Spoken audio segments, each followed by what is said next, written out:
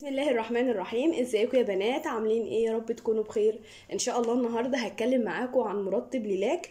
المرطب السحر اللي غير لي بشرتي 180 درجة.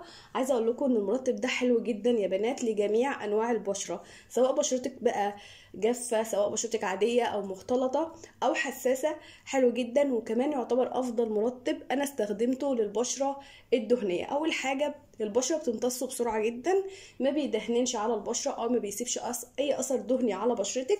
ده غير كمان إن أنت ممكن تستخدميه كمرطب حوالين العين. حطيه حوالين عينيكي مش بس مرطب لأ ده كمان بيقلل من الخطوط اللي بتبقى موجودة حوالين العين والخطوط عامة اللي بتبقى في بشرتك سواء عند الجبهه أو حوالين الفم مع مداومتك استخدام. مرطب ليلاك هتلاقي كل الحاجات دي بدأت تختفي عندك تدريجيا لو هي موجودة.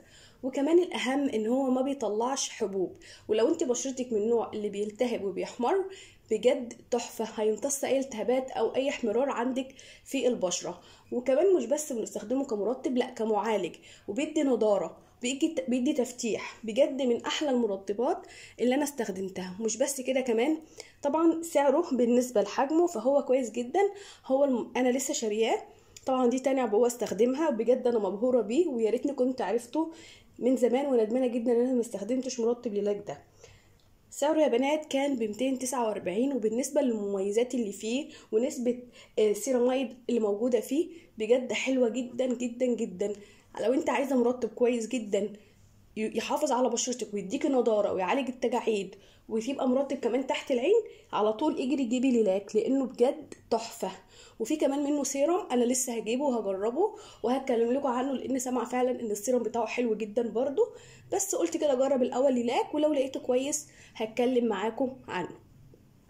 فيا بنات اللي ما جربش مرطب ليلاك يروح يجري على طول يجيبه ويجربه ويشوف النتيجة بتاعته هتكون إيه ويكتب لي في الكومنتات رأيه إيه في المرطب ده وإن شاء الله اللي هيجربه هيدعي لي لو استخدمه بعد ما أنا قلت له عليه. بجد حلو جدا بتمنى كلكم تجربوه وما تنسوش بقى تدعوا لي دعوة حلوة وتعملوا لايك للفيديو وتشيروا لكل صحباتكم عشان يستفيدوا منه. أشوفكم على خير إن شاء الله فيديو جديد والسلام عليكم ورحمة الله وبركاته.